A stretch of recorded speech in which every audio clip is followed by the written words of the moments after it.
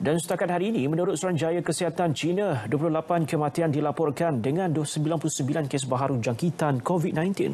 Kes kematian baharu itu dilaporkan di wilayah Hubei. Semalam, 1,678 orang disahkan pulih di wilayah itu, manakala jumlah kes teruk berkurang sebanyak 248 orang. Keseluruhan di China, kes yang disahkan merekodkan 80,651. 55,440 disahkan pulih. Manakala 502 orang masih disyaki dijangkiti virus itu.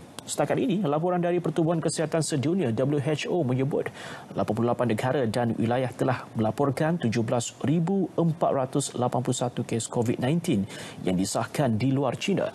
Jumlah kematian yang disebabkan oleh penyakit itu mencecah 335 di luar China semalam, iaitu lebih 69 berbanding hari sebelumnya. Sebanyak 98,192 kes telah disahkan secara global dengan 2,873 jangkitan.